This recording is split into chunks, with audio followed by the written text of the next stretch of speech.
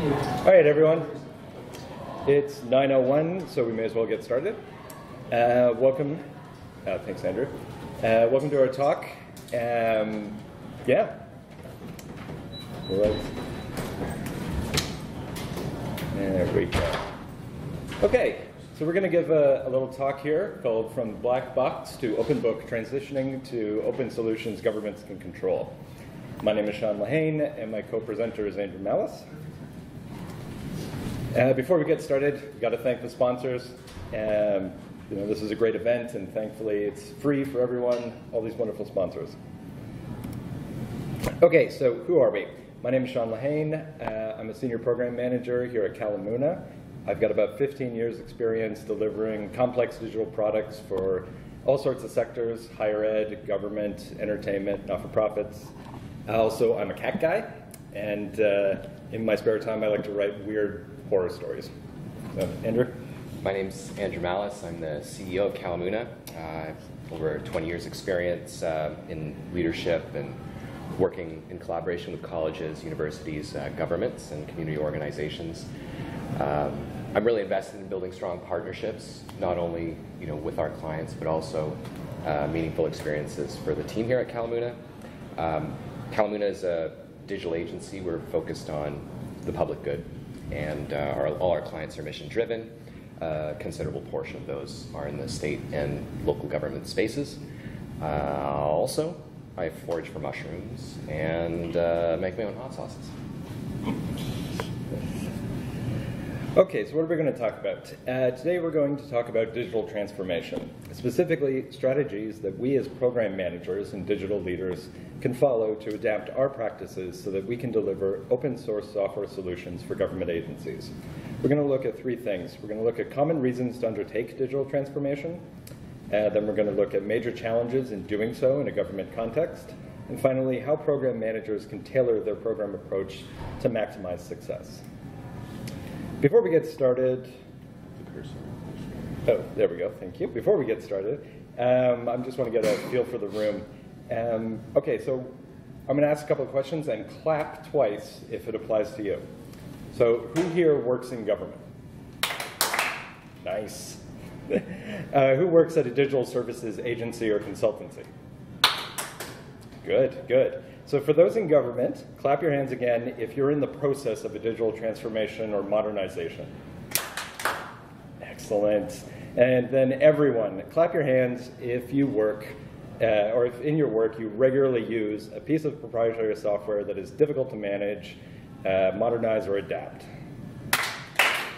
Everyone, great. So this talk should be of interest then. Uh, we, because we all have systems and tools that to one extent or another are not doing what we need them to do, or as is very common, we've changed what it is that we need them to do. And sometimes they've been around longer than us. And we, as people and users of these tools, we've just learned to adapt our process to meet the, uh, meet the tools where they are. Basically, we've lowered our expectations. But eventually, change comes to all systems. The weight of mounting user needs and shifting requirements, or the ever uh, creeping entropy, will set into the software and at a time, at times, it, you know, it will require change. But change is difficult and expensive. It can be scary, and it comes with a tons of risk. Uh, but it doesn't have to. It doesn't have to be any of these things, and that's what this talk is about. So, what motivates us to undertake digital transformation? There are a ton of reasons, and here are just uh, some of the common ones that we find all the time. So first off, you may be saddled with a black box application in the system that is no longer compliant with the rest of the system. Your product may be built with deprecated code. You may not be able to get support for it anymore. This could put you into a high-risk situation, especially if your system if your system is a utility grade system or comes with regulatory obligations or uptime, that sort of thing. It could start acting, as far as you can tell, uh, given your lack of support and its, you know, the deprecated nature of the product, unpredictably or unreliably, leading to extended downtime and costly on-call support. You may have no backup plan, no disaster recovery plan in place. And related to all this, you may not even own the product. So even if you wanted to or could go ahead and try to upgrade it or modernize it, uh, you wouldn't even be allowed to.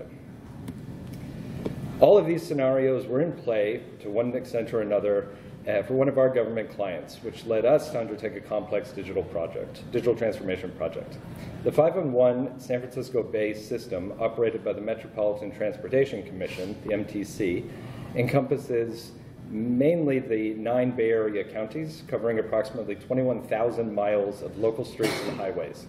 The 511 system is one of the most sophisticated and heavily used traveler information systems, ATISs, uh, in the nation. The MTC operates 511.org, a major real time resource for the 7 million plus commuters and travelers in the Bay Area. Now, the most important part of the system is the real time data pulled from various feeds, both internal to the MTC and external to it, showing issues, incidents, alerts, construction, et cetera, et cetera, things that impact your commute. It's designed to be a utility grade tool for commuters, and this API proxy application and basically aggregates real-time traffic and transit information from 27, I think it's actually now 29 uh, distinct agencies in the Bay Area and delivers it to multiple consumers, including Google Maps, Apple Maps, uh, Bing, and of course the 511.org website itself. But this API proxy system that ingests all this data, manipulates it, caches it, and serves it to users was failing regularly. And the outages uh, that we were experiencing were getting longer, and they were costing more to remediate. It was a custom built application, excuse me, using deprecated Python and Angular. It had become a black box system because its documentation, documentation wasn't updated, it wasn't comprehensive, it was riddled with tech debt. Uh, it was nearly a decade old when we took it over, and it had changed numerous times over the years, new features being added, but never really old features were never really taken away. They were just sort of hidden from the front end. So it was a gnarled mess. Uh, basically, it had become a legacy nightmare, and we were responsible for maintaining it. Both the MTC and Kalamuna felt uh, that the risk exposure in continuing to maintain this black box uh, was far too high, so we had to replace it. And the MTC had basic requirements going into this work that basically corresponded to the problems with the existing system. So the new system had to be well supported, well documented, um, uptime guaranteed. It had to be expandable. And it had to basically do all of the things that the old system had done. Great requirement. But then lastly, um, it had to be cloud based and it had to be open source. So over to Andrew. Now, the MTC is a big proponent of open source, and uh, the 511 site has been running on Drupal since 2018 and their open data program precedes that. Most government agencies, uh, even forward thinking ones like the MTC, still mostly follow traditional practices in program management. Some claim to be agile, uh, but are bound by antiquated procurement processes that are intended for building physical things like bridges, not evolving digital products. Agile ultimately is a framework, uh, not a process, and it needs to be adapted to people context and desired outcomes.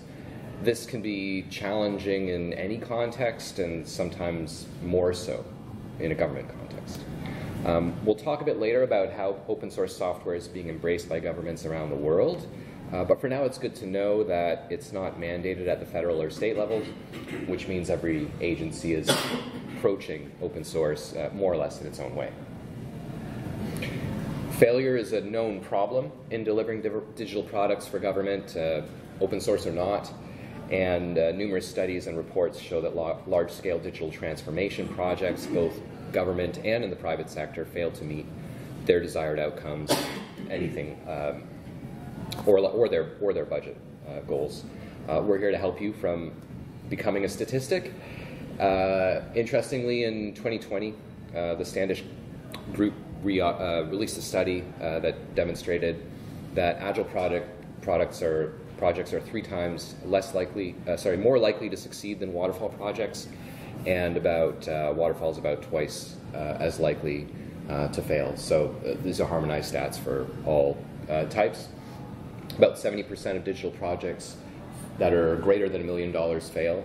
Um, about 13 of projects above $6 million succeed, and 30% of all digital transformations succeed. We have some, some sources for you down there. But Canada isn't uh, immune to digital failure, uh, digital transformation failures. Um, you know, I think we've all heard a lot about healthcare.gov. It's often touted. These are some maybe lesser known uh, examples to, to you. We thought we'd share. Uh, Phoenix is, uh, is is currently in the you know in the news still. Uh, it's a custom built federal payment system. Um, a big payroll application uh, built by uh, IBM and, and CGI. Um, after eight years, its initial $300 million budget, it ballooned to about $4 billion. And uh, the worst part of it is that there are about 400,000 backlog payments in the system uh, every month. And uh, that's uh, causing distress for federal employees in particular. In uh, 2019, the government was forced to distribute about 4.3 million dollars of compensation in the form of, of PT of hours and PTO that amounted to about 179,000 dollars, 179 days of leave, fairly considerable. Um, population of Canada is a little smaller. Uh, ArriveCan is, uh, if you've traveled uh, between the U.S. and Canada or, or elsewhere, uh, you may be familiar with the M- the MPC app, Mobile Passport Control, that the U.S. has. It facilitates travel between custom uh, in customs. Uh, the original program for this budget in Canada was uh, eighty thousand dollars, which uh, is probably under budgeted for any program or, or a custom uh, product. Uh, but it's ballooned to nearly sixty million dollars today, and the procurement and management practices are being examined and investigated by multiple levels of law enforcement due to concerns of gross negligence and, and potentially even fraud. Um, so they're about 750% over budget at this point, and um, still, you know, not really working too well. So, um, why do digital transformations fail? For as many reasons as there are to undertake a digital transformation, there are as many reasons why they fail. Um, let's see. So, at the program level, there is often a lack of cohesive vision and deep understanding of the needs of users, internal and customer. And there's a disconnect between what the organization wants to do and what users actually need it to do. Uh, two, like in many government and enterprise organizations, there's resistance to change, coupled with a lack of uh, a strong change management plan, mostly deriving from number one above. Uh, three, when the need to reconsider and reprioritize arise, arises, which you know, we all know occurs on large scale projects, organizational leadership often isn't equipped to make smart pivots, uh, nor are they inclined to. And number four, this is a big one. Civil servants in leadership often are not the best equipped to make technology decisions. As a result, it's normal to contract with suppliers and vendors or system integrators. But because of the lack of internal technology management expertise, it becomes much harder to oversee outside vendors and outside vendors are not always aligned with the goals of the organization, as you know, their priority is to sell and implement their own products. So definitely uh, not aligned here on, uh, on values. And then lastly, uh, as said throughout this list, government organizations, organizations excuse me, often just can't have all the most trained technology people. You know, it's not feasible. Why does failure matter? Uh, well, it matters because the loss of faith in digital systems can lead to a loss of faith in government. And uh, reports of taxpayer dollars being wasted uh, makes government agencies more cautious to undertake desperately needed digital transformation. So it's up to us as digital leaders to do everything we can to improve delivery for our government agency clients. Uh, I'll shift it back to Sean and talk more about how we adapted our program approach for 511. Great, thank you. So this isn't an introduction, excuse me, to program management or project management. Uh, instead, I'm going to walk through three areas to focus on uh, as you develop your program uh, to give you the best opportunity to deliver the highest value outcomes. Now, uh, what I'm going to go through in these slides I'm going to speak to program managers and agents in consultancies like Kalamuna, but it applies just as equally to the government equivalents, the, the government counterparts. And uh, you know what we're talking about here is to improve us as consultants, uh, and these are the kinds of characteristics and traits that you should be looking for uh, as government. So I've broken it down into sort of three areas to focus on. Uh, the first is foster partnership. Uh, second, make considered technology choices. And three, develop a growth mindset. So what do I mean by foster partnership? Uh, these are some strategies to help transition you from vendors to partners. And why does this matter? Well, because partners are trusted. Uh, you're more willing to accept risks with a partner, you're more willing to take risks with a partner, you're more willing to listen, you're more engaged. For uh, making considered technology choices, there are a lot of different ways to make technology decisions. Some more basic or superficial ways can lead to costly mistakes. So I'll talk about some ways to alleviate uh, the, or elevate rather, the decision-making process to hopefully lead to more successful outcomes. And then lastly, uh, developing a growth mindset. We need to demonstrate how our projects, though discrete and finite, roll up into a bigger picture for our clients. We need to show through success after success after success how we can achieve those bigger, longer term objectives. Uh, these are, you know, this isn't waterfall, these are not sequential. Uh, uh, they definitely have feedback loops that you know, grow and evolve over time. Okay, so getting into the first one, fostering partnership. I call it foster partnership because partnership doesn't just happen overnight. You know, it, it grows. You may become a partner, uh, you know, with a couple of signatures on a piece of paper, but partnership takes time and effort to build. So the first point is to engage the full community of stakeholders. Start by identifying the broader set of stakeholders impacting the project, beyond just the PMs and POs directly uh, overseeing the particular engagement you're involved in. Like in many government agencies, the technology ecosystem is often fractured and managed by nearly isolated groups of consultants and sub-consultants. We need to identify them, talk to them, engage them, find out what their stake, who their stakeholders are, find out what their needs are, talk to their users. Uh, two, the agency may, in fact, uh, have different PMs sort of overseeing each relationship. And it may make perfect sense on paper to do it this way because on paper they sort of seem isolated and such. Uh, however, in this kind of situation, no one, no one in the, in the ecosystem is going to have a full, deep understanding of all the different parts of the system or the forest itself, right? So, um, and since you know every every system in an ecosystem is going over time is going to have micro improvements, micro uh, feature enhancements, so on and so forth. Uh, if no one is maintaining that full picture, then the likelihood that somewhere down the line someone's random system is going to impact your system in a way that you haven't predicted uh, increases exponentially. So if a true digital landscape-wide stakeholder analysis hasn't been completed, take charge of making it yourself. You may get some pushback, uh, but use your negotiation and persuasion skills to show the value of this for not only your program, but for the agency, the wider agency uh, as a whole. Continually engaging the wide community of stakeholders, listening and sharing concerns, issues, plans will do a couple of things. It'll breed trust and goodwill, and it'll just make your program better. The second point here is about uh, user needs over technical requirements. Now, it's pretty easy with large-scale IT projects to get subsumed by requirements, to let technology drive the conversation. We need to always remind our partners that technology is there to serve the needs of users, not the other way around. So we delve deep into user research to identify the real needs, goals, jobs to be done, you know, et cetera, of the people who are using the technology at every stage. You know, from the IT department that has to configure things on servers somewhere, to the internal teams that need to be trained uh, to use the system, all the way down to like the end users who basically just need the system to work, to do what it needs to do. So user needs in an agile sense become the bulk of the true high-level business rules uh, and requirements of the system. So we work with stakeholders to itemize every user type and every user goal uh, that you know, we can think of and our clients can think of. Every single one gets documented. Uh, they get scored and they get prioritized.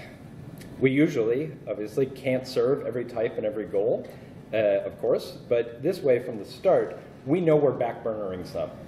Okay? Documenting and storing them in a log doesn't cast them aside. We can add them to a future roadmap. So heaven forbid, you know, halfway through the implementation, someone pops up and says, you know, we, oh, we need this requirement to be met for this deprioritized user type. Uh, we can take the conversation back to you know, where we all decided that some deprioritized group is going to be dealt with later. Uh, and then lastly, once gathered and established, we examine our options for how to actually implement a technical solution. Now let's talk about risk. We have to share risk management. All too often, risk identification and analysis is done superficially in the RFP and bidding process and then not followed up on. Or conversely, it's done comprehensively once at the beginning of a project and then not followed up on. Also, too often it's done in isolation, just by us, by the consultants. Um, you know, we're asked to provide a risk assessment to our clients, and then, you know, it's one and done. It's like a deliverable. Uh, but the problem is this creates anxiety. It can lead to people withholding or downplaying risks because they don't want to look bad by sharing certain items. Even really prominent risks uh, often get overlooked. Two very common risks that should appear on any risk register are uh, team turnover, the likelihood of team turnover, uh, maternity leave, paternity leave. You know, take any project or program that's going to last over a year, and you should have a risk of team turnover. I know in a lot of agencies that's like 10% uh, that happens. Uh, and it's pretty easy to mitigate these things. It's pretty easy to document them, but a lot of people just don't want to say that that's, that can happen. Um, another point here is how many people have heard of positive risks? Yes, okay, well done, entering the room and putting your hand up. Uh, yeah, positive risks, that's an actual thing. Um, this is basically, uh, well, think about a risk as anything that can impact the successful delivery of a, of a project, right? So an example of a positive risk in like the construction industry is your permits could arrive early, which never happens, but it could arrive early, which means you could start you know, some other phase of your building program earlier. So basically, positive risks, positive risks become opportunities in a SWOT analysis. So you got to document those as well. And yeah, because it's really, you know, it's our goal when I'm looking at risk analysis and risk management is we've got to be doing everything we can to minimize the likelihood of, of negative risks and maximize the likelihood of positive risks. So the last thing I want to share here about uh, risk management is the need to share this process with agency partners. If you're open and upfront and critical in your thinking, your partners will be impressed. Why? Because that's integrity and character. That, that's what you know, they're impressed by. This will lead also, hopefully, to your partners being more open with you and more reflective. I know I can't tell you how many times in a in, you know, consultancy role uh, we get clients that just agree all the time to, uh, you know, they're going to provide feedback and approval within a week. They never question it, and it never happens. And so timelines are just instantly thrown out because of it. But you know, if you're sharing this sort of process right from the start, and you're being open and honest and upfront with your agency partners, you're going to encourage them to be open to, and you're going to get a more uh, a more robust risk analysis done. Uh, and then you're going to do it you're going to revisit it over time as you know risks, the likelihood decreases over time of certain risks. New risks are always emerging, so on and so forth. And, and ironically, is it ironically or coincidentally? Uh, uh, as you add more risks to a risk register, the impact of risks can decrease, um, which is a wonderful thing. So by establishing this sort of shared ownership and risk management, uh, as I say, it's going to build trust and reduce the impact of these things that will, some variety of them will materialize. Doing these will help establish your partnership right from the start on firm footing with a shared vision of success. It will also help break down some of the client-vendor dichotomy or divisions that, uh, you know, that unhealthy relationship uh, that lead directly to unrealistic expectations, which leads to a lack of trust, low morale, low excitement, budget overruns, and overall program dissatisfaction. So, a key part of establishing and championing this shared vision, especially one that includes planned investment in open source solutions, is knowing the landscape. So you can help navigate the client through the uncertainties along the way. Open source is it's a big, a big thing. There will be resistance to change at the agency. There'll be resistance against using some framework or technology that isn't coming from some well-known brand name. It's safe. When IBM gives you a quote, that sounds safer than perhaps a much lower quote from something you've never heard of. So it's important that we continue to champion OSS through all levels of communication. Excuse me, to continually reassure that we're on this track together. So, you know, we're about to talk about America, but, you know, around the world, uh, some recent things. Switzerland, for instance, has just mandated that all government applications have to be open source. Um, Germany is doing, uh, doing the same. They're migrating everyone off of Microsoft to Linux or Linux. Um, and the EU, as like an organizational federation, uh, is doing a lot to push this sort of agenda across all of its member states. Now, here in the United States, there hasn't been the same sort of federally coordinated approach to open source software, uh, but we are moving in that direction. For instance, the White House released a formal strategic plan around improving the security of open source solutions. The GSA is working to achieve 100% open source across its agency, and that agency in particular oversees 18F, the, US, the US Digital Corps, US Digital Service, all of which help other government agencies navigate and develop open source solutions wherever possible. CMS.gov, uh, the website for the Centers for Medicare and Medicaid, which I really think should just be like redirected to Drupal or WordPress, but whatever, uh, launched the first open source program office in the federal government. Uh, some of the projects here on the right uh, are all publicly available open source projects run by a variety of government agencies, mostly centered around you know, big data, library science, that sort of thing. So there is widespread desire on the part of governments globally and here in the US to adopt open source frameworks and technologies. We're getting there. It's just taking longer and is more uniquely challenging here in America. So that takes me to making considered technology choices. Because there are so many different ways to leverage open source to implement basically any tech solution, including this API gateway project we did for the MTC, we need to review our technical requirements across the board in light of the user research we do to create a more robust set of requirements for the digital products we build. And to create a set of criteria by which we can evaluate the different technical options we can pursue. When we do this, when we prioritize users, the a priori technical requirements that we were handed in the beginning of any project get refined, and we can create a more complete 360 view uh, for our requirements traceability matrix that better ties together development efforts to user functionality, uh, features, user types, user goals, satisfaction. Remember that we started looking at the full digital ecosystem back when we start uh, engaging the client's various stakeholder groups we have little to no control over other systems in the ecosystem, but we do have the ability to persuade and influence.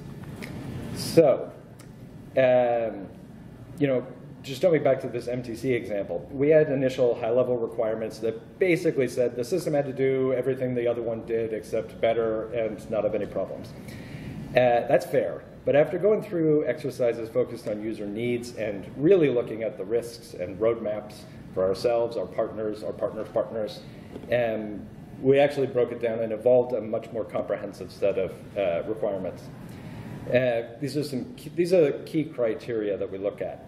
So knowing which criteria to prioritize when evaluating technology solutions, how to score each, and how much weight to give each criteria, it's the fun problem of project program management. Uh, and it's going to be unique, obviously, to any, any project or any program that you're running. Too often we make unconsidered decisions based solely on like the classic uh, constraints, you know, cost. You know, what's the cheapest way to deliver it? Scope. What's going to give me the most features and timeline? Obviously, everything has to be done as soon as possible.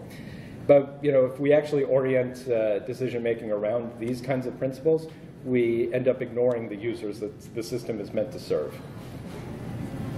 So um, I'll talk very, very quickly about some of these criteria, but uh, just at a high level, this is a ranked priority list.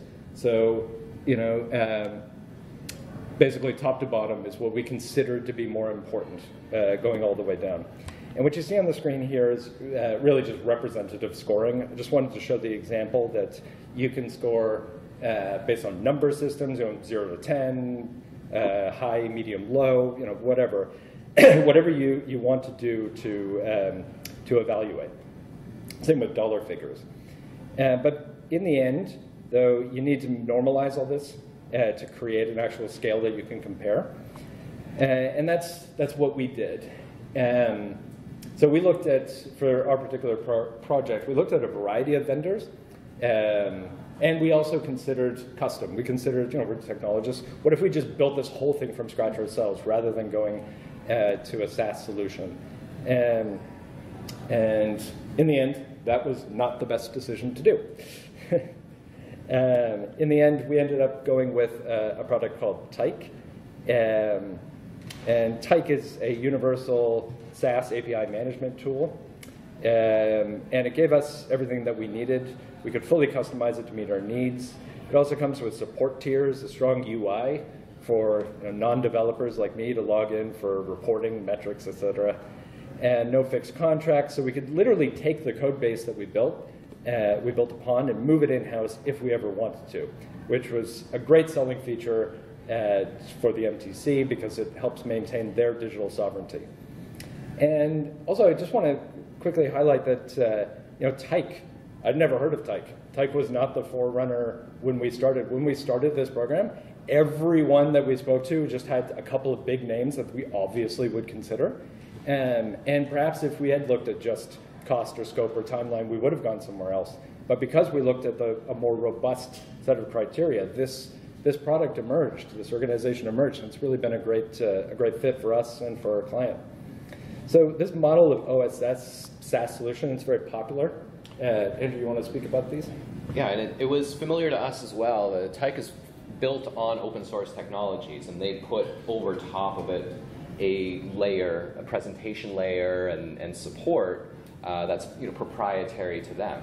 It's much like we do in the Drupal universe, where we combine uh, freely and open available tools, and then we develop a custom theme or some aspects of those programs that might be proprietary for a, a client. Open source uh, doesn't necessarily mean that all aspects of your system are open source. Uh, that's a decision a government agency can make.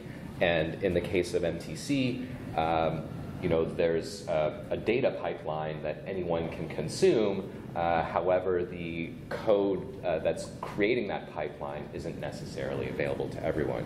These models were familiar to us many years ago. We released a product called Kalabox, which was a command line utility, and then we built a front end layer, a graphical user interface for it. Uh, that is now known as, uh, as Lando. Um, but it allowed for us to have a freely available uh, framework others could build upon, but still retain you know, a part of it uh, that then uh, was made unique. So we felt really comfortable entering into this space. Yeah. Okay, so um, the last sort of area that I want to quickly touch on, which is uh, developing a growth mindset. So with all this in mind, um, you know, talk about tech. We got to work and uh, we built the thing and we launched it and it was absolutely perfect, on budget, on time, no problems whatsoever. And I'm obviously kidding when I say that. Uh, there were challenges. You know, it was more difficult to build than we thought. Uh, it would be. It ended up going slightly over budget. It ended up going uh, launching a bit late. We had about a, a two-week delay that became a month and a half delay because it happened right before a holiday break. Blah blah blah. But these are standard, very common challenges when delivering any new product. Uh, however, we kept going back to first principles. We kept returning to our shared vision. And uh, we, uh, we kept hammering back the value that's being created and deprioritizing this notion of, uh, uh, of success is you know, hitting an SPI or a CPI of one. Anything over budget is a failure. That sort of mentality is, is not right. Um, there are fluctuations that happen in any project, in any program, and it's up to us to manage those fluctuations with our clients so that they're continually looking at the bigger picture with us. They say that courage isn't the absence of fear, uh, but rather it's doing the right thing despite there being fear. And that's, that's something that we have to consider. All projects face challenges, big and small, and it's how we manage uh, to still deliver the outcomes despite these challenges that matter. So, though technology and user needs may seem like they're constantly evolving uh, and constantly changing, these are not excuses to avoid documentation. There's a common misconception amongst people that agile lets you off the hook here. It doesn't. Uh, though it's true that we look to craft and share you know, documentation that is barely sufficient, it is still sufficient. Um, it has to be kept up to date and shared and understood and this takes real time and real commitment. Strong, readable architectural documentation, user manuals, diagrams, and the like allows new people to be added to the system over time. And with these new people come their new ideas and expertise. And uh, this allows it to flourish. Focus on seeking broader team training. Disseminate this documentation to the widest possible team of stakeholders. This will also help ensure that other vendors and partners are aware of how your system is working. Uh, so when they go to do their own transformations and modernizations in the future, it's the single strongest defense against a system falling into disrepair. Now, it's critically important that you continue to demonstrate the value of the work you've done and how it contributes positively to your partner's future roadmap. It's not the number of features developed or tickets closed per se, but the amount of use the end users are going to get out of your system. That's what, uh, that's what matters, and that's what you've got to frame uh, your customer or your client's perspective on your work. Demonstrate the value of further investment.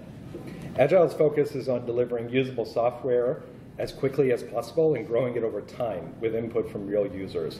Early wins lead to more wins because they improve confidence and engender trust.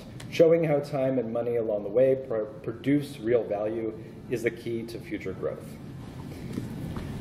So, um, by focusing on these three thematic areas in the program over the last uh, three and a half years, um, the program has evolved, and MTC's you know, reality is more closely aligned with their perspective on embracing open source and making those types of programs real.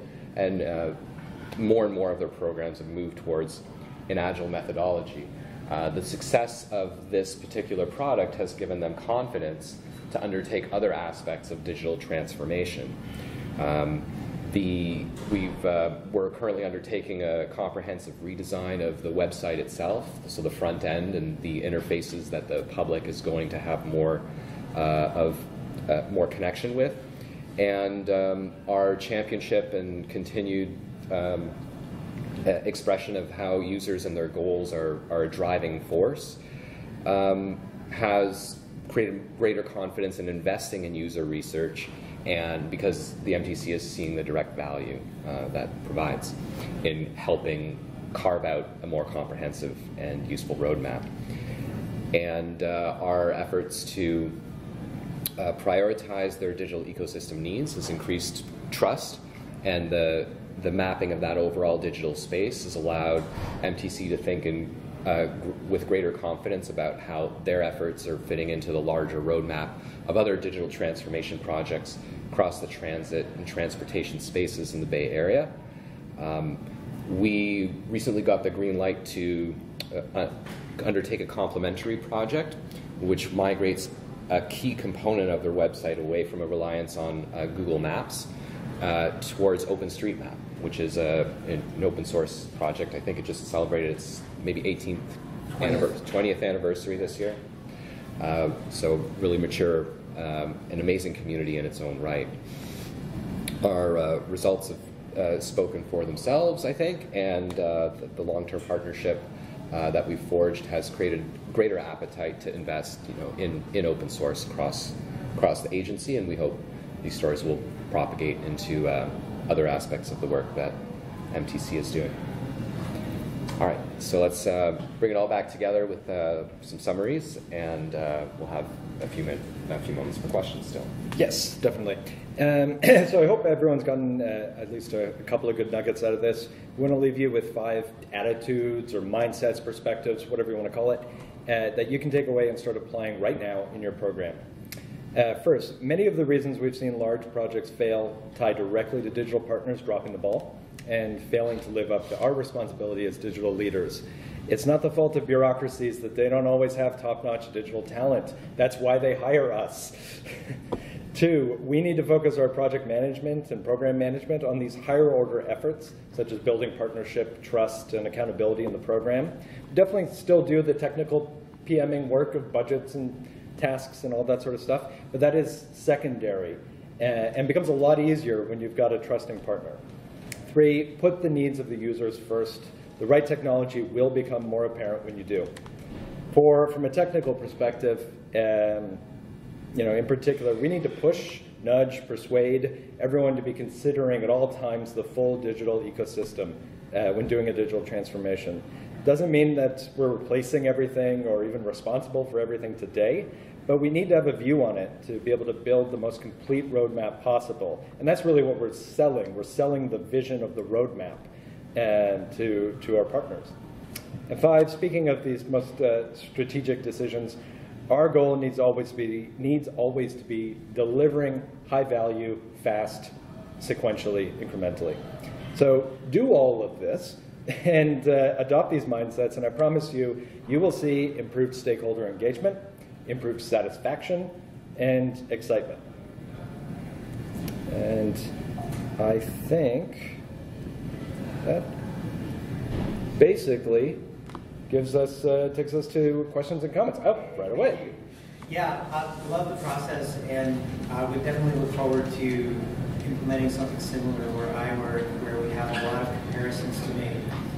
Uh, so I work for a CIO tables, so I'm going to make you go back, or ask you to uh, go back to the, the normalized table. Yeah, there it is.